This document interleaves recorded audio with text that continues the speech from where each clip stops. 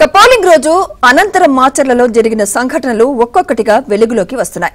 అంతేకాదు మాచర్ల ఎమ్మెల్యే పిన్నెల్లి రామకృష్ణారెడ్డి బ్రదర్స్తో పాటు ఆయన అనుచరులు చేసిన ఆగడాలు సాక్ష్యాధారాలతో సహా బట్టబయలవుతున్నాయి. పాల్వాయి గేట్ కొత్త పుల్లారెడ్డిగూడెం కళ్ళకుంట్ల మాచర్ల రెంటాల వంటి గ్రామాల్లో ఏం చేశారనే అంశంపై సాక్ష్యాధారాలతో సహా బహిర్గతమవుతుండటంతో ఎన్నికల కమిషన్ సీరియస్ అయింది. పాల్వాయి గేట్లో సాక్షాత్తు పిన్నెల్లి ఈవీఎం పగలగొట్టిన ఘటనలపై రాష్ట్ర సీఈఓపై ఈసీ ప్రశ్నల వర్షం కురిపించింది.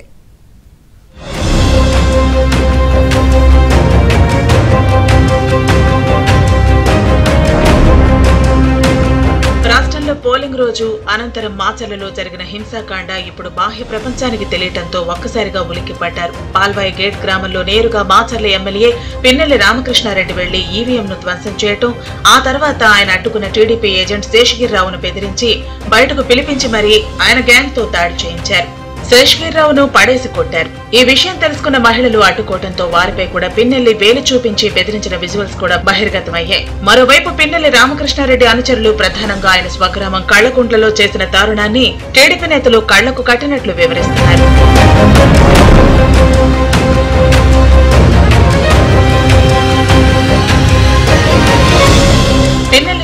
గ్రామంలో మాణిక్యం అనే గ్రామస్తుడు టీడీపీ ఏజెంట్గా పోలింగ్ బూత్లో కూర్చోవడంతో ఆయన బయటకు రావాల్సిందిగా వైసీపీ గ్యాంగ్ బెదిరించింది.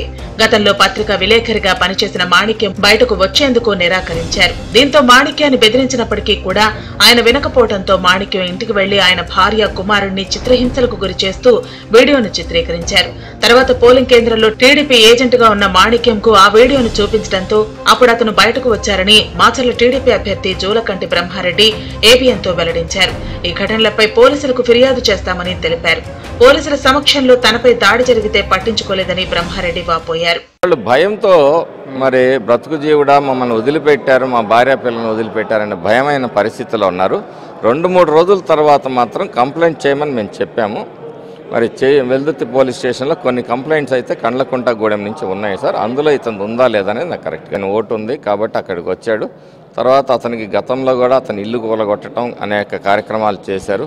కాబట్టి అతన్ని నేను ఏజెంట్గా నిలబడతాను ఈ అరాచకానికి వ్యతిరేకంగా నేను నిలబడతాను. అతను రిపోర్టర్గా పనిచేస్తాడని అందుకని అతను భావోద్వేగంతో నిలబడ్డాడు. నిలబడ్డ తర్వాత అంతే అతనే కాదు కుమారి శ్రీకాంత్ రెడ్డి వాళ్ళ భార్య పిల్లల్ని విపరీతంగా కొట్టారు. అలాగే గదిలో బంధించారు. ఒకసారి కాదు రెండు సార్లు కొట్టారు. వేరే కుటుంబం ఇంకో పాపిరెడ్డి కుటుంబంలో ఇంకో వేరే వాళ్ళ మీద కూడా దాడి చేసి కొట్టారు.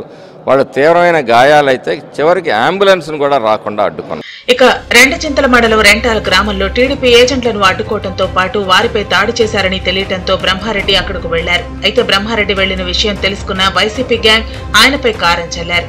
రెంటాల గ్రామం ఎందుకు వచ్చారంటూ బ్రహ్మారెడ్డిని నిలదీశారు. పోలీసులు తనపై దాడి చేసిన సంఘటన వీడియో తీసినప్పటికీ కనీసం కేసు నమోదు చేయలేదన్నారు. తాము ఫిర్యాదు ఇస్తే తీసుకునేవారు ఎవరూ లేరని ప్రాణభయంతో అందరూ వెళ్ళిపోయారన్నారు చివరకు పాల్వాయి గేట్లో టీడీపీ ఏజెంట్ శేషగిరిరావు రెండు చేతుల పోలీస్ స్టేషన్లో మాచర్ల ఎమ్మెల్యేపై ఫిర్యాదు చేస్తే ఈవీఎం ను ధ్వంసం చేసింది గుర్తు తెలియని వ్యక్తులుగా పోలీసులు కేసు నమోదు చేశారని బ్రహ్మారెడ్డి ఆవేదన వ్యక్తం చేశారు. రెంటాల గ్రామంలో అయితే ఒకసారి ఫస్ట్ ఏజెంట్స్గా కూర్చునేటప్పుడు దాడి చేశారు. ఆ తర్వాత మధ్యాహ్నం పూట సాక్షాత్తు అక్కడ ఎస్పీ గారు ఉన్నారు ఐజీ గారు వచ్చిన తర్వాత కూడా బయట వేరే సందులో మరి టీడీపీ కార్య నాయకుల మీద దాడి చేసి మళ్ళీ రెండోసారి కూడా కొట్టడం జరిగింది. మీరున్నారు మీ మీద కూడా కారం చల్లారు ఐజీఎస్పీ సమక్షంలో అప్పుడు ఎస్పీ గారు ఉన్నారు తర్వాత ఐజీ గారు వచ్చారండి. నా మీద దాడి జరిగేటప్పుడు మరి సుప్రజ మేడం గారు చూస్తూనే ఉన్నారు ఆమె సాక్షిగా ఆమె వీడియో కూడా తీసుకున్నారు. తర్వాత ఎవరైతే ఆడవాళ్ళు అక్కడ ఉండి కారాలు పట్టుకున్నారో వాళ్ళ వీడియోలు కూడా తీసుకున్నారు. నా మీద కార కారం జల్లి దాడి జరగాలనే ప్రయత్నం ఇళ్ళల్లో కొంతమంది మగవాళ్ళు ఉన్నారు ఆడవాళ్ళతో కారం జల్లించి నా మీద దాడి చేయాలనే ప్రయత్నం చేశారు. మా వెహికల్స్ అన్నింటినీ ధ్వంసం చేశారు ఒక వెహికల్ని అయితే తగలబెట్టారు. ఒక అరాచకంగా జరిగిపోయింది నేను మాచర్ల అక్కడే నన్ను హౌస్ అరెస్ట్ చేయడం జరిగిందండి. నన్ను అదుపులోకి తీసుకున్నారు నన్ను అదుపులో తీసుకున్న తర్వాత పిన్నెల్లి రామకృష్ణారెడ్డి అతని తమ్ముడిని కూడా అదుపులో తీసుకుంటున్నాం కాబట్టి మరోవైపు కొత్త పుల్లారెడ్డిగూడెం కారంపూడి పేటసన్నిగండ్ల వంటి గ్రామాల్లో అరాచకాలు చేశారని చివరకు ఎమ్మెల్యే అనుచరులు వాహనాలతో టీడీపీ నేతలను తొక్కించుకుంటూ వెళితే పోలీసులు హత్యాయత్నం కేసు నమోదు చేయకుండా దొమ్మి అని త్రీ ట్వంటీ ఫోర్ సెక్షన్ కింద కేసు నమోదు చేశారన్నారు బ్రహ్మారెడ్డి. దీంతో పాటు మాచర్లు నియోజకవర్గంలో జరిగిన వివిధ సంఘటనల్లో పోలీసులు ఇదే విధంగా వ్యవహరించారని కూడా ఆయన వివరించారు. ఇదిలా ఉంటే టీడీపీ కేంద్ర కార్యాలయానికి వచ్చిన ఏజెంట్ శేషగిరిరావుతో చంద్రబాబు ఫోన్లో మాట్లాడారు. ఆయనకు మనోధైర్యం కల్పించడమే కాకుండా పార్టీ అన్ని విధాలుగా అండగా ఉంటుందని భరోసా ఇచ్చారు.